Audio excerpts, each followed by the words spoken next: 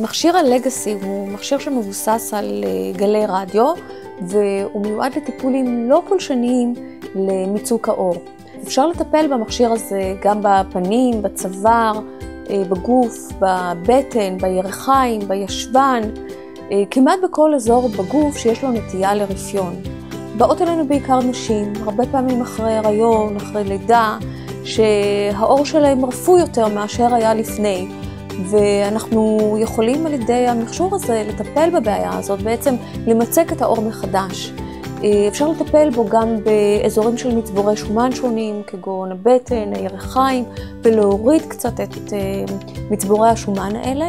ובנוסף אנחנו גם יכולים לטפל בצלולית ובעיית רפיון האור, וכך לטפל בבעיות האלה ולשפר את מראה האור וגם את המבנה שלו. מדובר בטכנולוגיה שהיא מאוד מאוד בטוחה, אנחנו כבר עובדים עם גלי רדיו שנים רבות, מעל 100 שנים יש לנו גלי רדיו בתחום הרפואה, זאת אומרת שאנחנו מדברים על טיפולים שהם בטוחים לגמרי, הם כמובן לא פולשניים, הם נעימים, הטיפול הוא נעים, הוא אינו כואב בכלל, הוא נעים.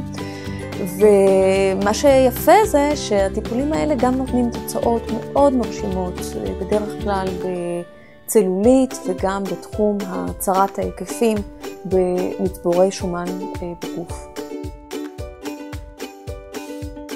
לפני שנתיים עשיתי סדרה ראשונה של טיפולים בגלי רדיו.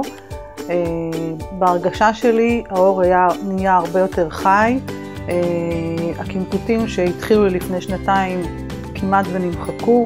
הייתה לי תחושה שהאור התמצק יותר.